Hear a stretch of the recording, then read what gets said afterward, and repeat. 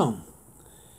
Well, we're at Grandpa's house, and usually we do a eating video, but today we're We'll do that later. something special today. I bought Grandpa a marsh mystery. Oh my goodness! You're saying what? What's in there? Let's check. Wait, first let's show them. First, let's show them what marshmallows you can get.